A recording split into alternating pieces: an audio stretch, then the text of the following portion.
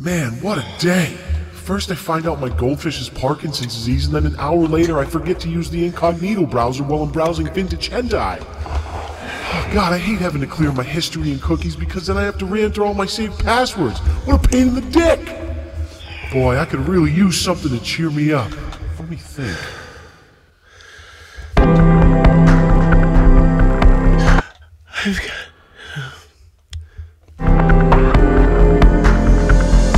I've got it. I've got it. I'm gonna buy something outrageously expensive using only penny.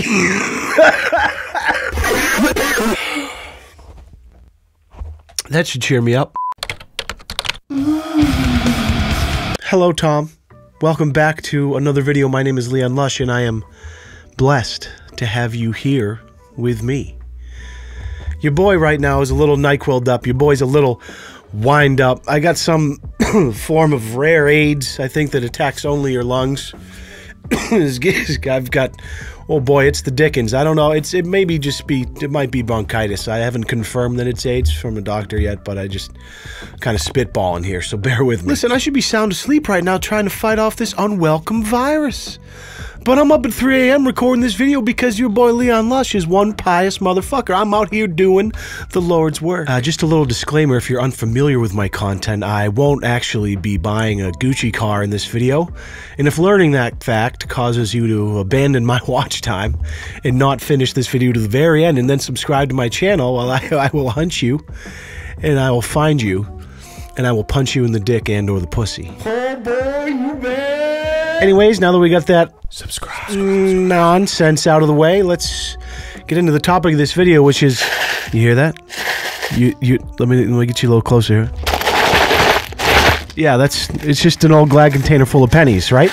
To you and to me, that's probably pretty useless. I mean, I personally fucking despise pennies. I hate them when I get them as change at a transaction at a Walmart or a CVS or a Sunoco or an adult film shop. I throw those motherfuckers on the ground. When I find them on the ground, I throw them in the trash. I can't stand the sight of them. They're useless. They're copper pieces of shit. But I got a little news flash for you. These bad Larrys are the new ticket to internet fame, so either get with it or get left in the dust, pussy. What's everybody, I'm Lord Rabbit, hope you guys are having an amazing day. But anyways guys, today I'm actually going to be going to the Gucci store and uh, I'm not just going to be going to the Gucci store without nothing, you know what I'm saying? I'm going to be going to the Gucci store and I'm going to attempt to buy something from Gucci with a hundred thousand pennies guys. Listen, I'm no prophet of Zion, but I know a good idea when I hear one, and this right here is a game changer.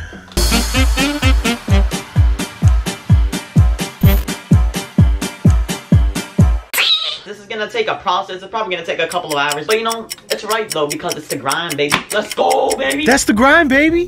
What do you know about the grind? Maybe you're up late at night fucking hustling, trying to make that money on the side, building clients, making a business, selling a product. No, man, you're missing out. All you gotta do is unwrap $1,000 worth of pennies and try and buy some Gucci flip flops. Five million fucking views! Guys, so I guess the Gucci store didn't like what we did over there. You know, they actually did want to accept these hundred thousand pennies. Huh. I didn't see that one coming. So, to give you the abridged version of this 18 and a half minute video, uh, they take the 100,000 pennies, go to the Gucci store, try to purchase an $800 pair of shoes with the pennies, and to my surprise, did not go well.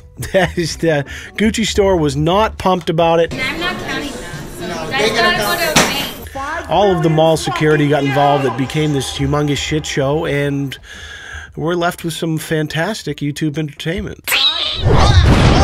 Now, unless you've been living under a sock these past couple weeks, you've probably noticed an influx in videos on YouTube of people buying expensive things with only pennies. Now, I'm not going to pretend like I know who started this trend, but I think part of the reason it's become so popular recently is in part due to the fact that Mr. Beast, our dear friend, Mr. Beast, who I personally love, uploaded a video four weeks ago called I Bought a Car Using Only Pennies. Went viral, four weeks later, 10 million views. They're actually the best dealership ever. I got moonies for you. Alright, we're uh, here to buy that Jeep out front with uh, this stuff. Thanks for your business. No problem. We're gonna sign the paperwork real quick and uh, we'll see you in a minute. So naturally, a week later, Jake Paul does the exact same thing. there's a trend on YouTube, guys. Oh, I saw this. Buying stuff with pennies. Yeah, yeah, yeah. And we gotta figure out what to buy. Look at all these pennies. That's really Look at all bang because obviously it's lit every single day, bro. What else are you gonna do? Fuck! I hate saying that. I'm so sorry. But, you know, and since then, a ton of other YouTubers have done the exact same thing. You you search pennies in the YouTube search bar and you just get YouTuber after YouTuber making videos of themselves buying expensive shit with only and it's getting fucking views, man. People are pulling views. Now, like any good YouTube trend, buying expensive things with pennies is having its heyday right now. That's right, buying things with is garnering millions and millions of views and entertaining millions of people around the world. I, I don't get it. Boy, oh boy, I love, I fucking love the internet. I fucking love the internet. But as time goes on, this trend will fade and eventually end up in the graveyard with all the other YouTube trends that have come and gone. Now, in many of my videos, if you're familiar with any of my previous content, I, I tend to criticize things from time to time, doing some insufferable Instagrams, talking about people on the internet that are less than savory. But I'm not criticizing right now. I, this isn't a trend I can really criticize. I'm just more astonished. I'm fascinated by what captures people attention. I'm fascinated by things that you would never think could ever become popular and then all of a sudden they're getting tens of millions of views on the internet. And just buying things with pennies is one of those things where I'm just like what?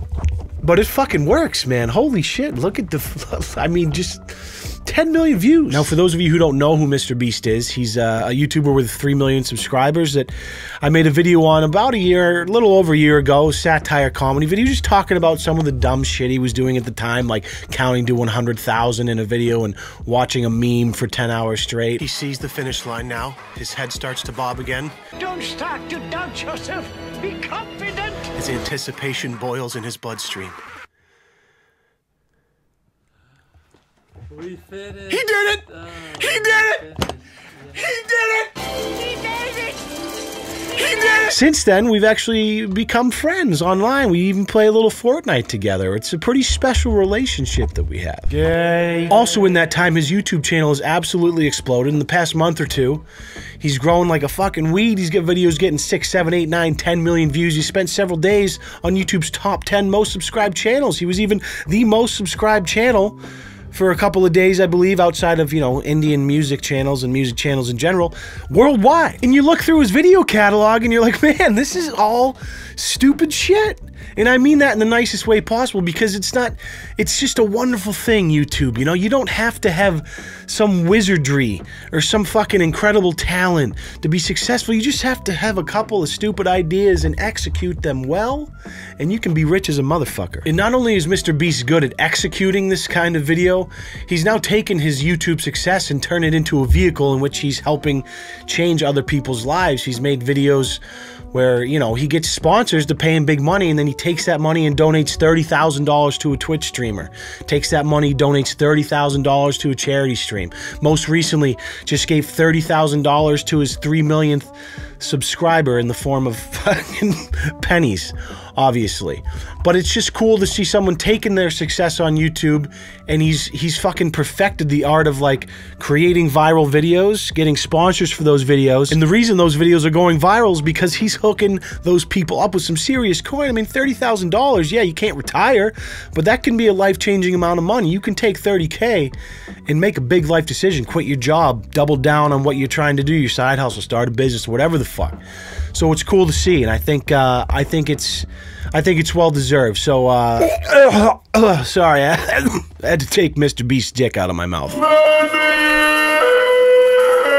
So shout out to Mr. Beast. Not all of your videos make a lot of sense, but boy, do they bang.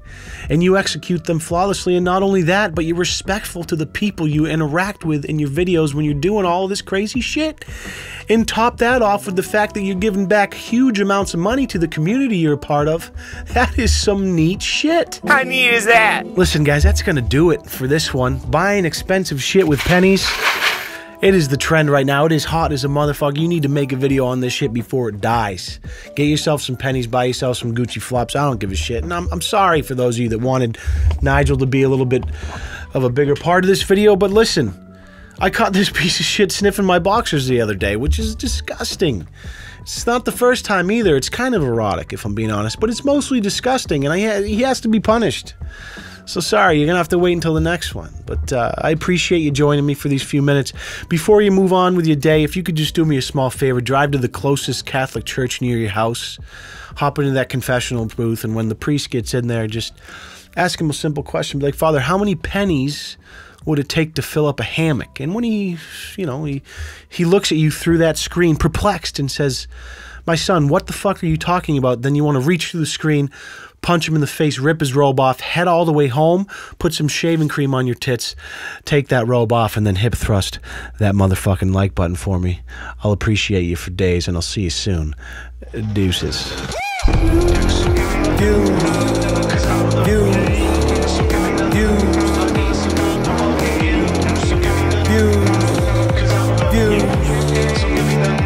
I need some motherfucking views. Views.